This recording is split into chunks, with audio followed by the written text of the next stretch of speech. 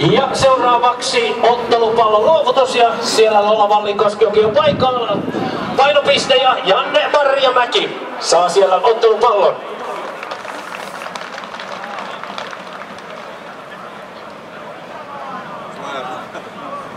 Mä ajattelin repalain. Ura! Täten päästötään! Ura! Se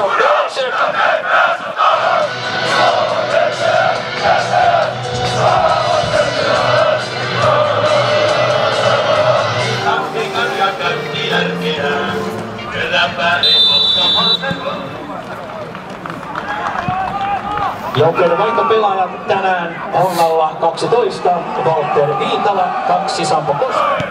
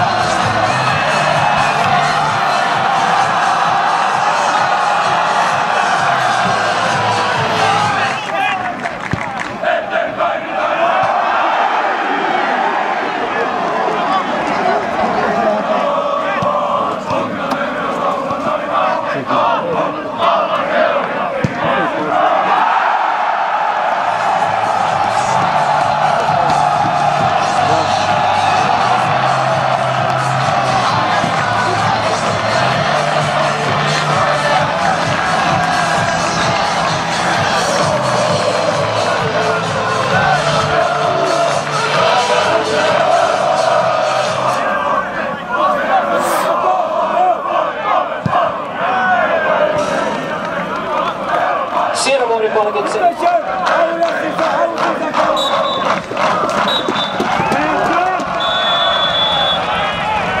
Ja näin on tämä ottelu päättynyt. TPS 2-0 voittoon maalintekijänä tänään 13 nuorta Tamilehto ja 10 Petteri Pennanen. Thank you.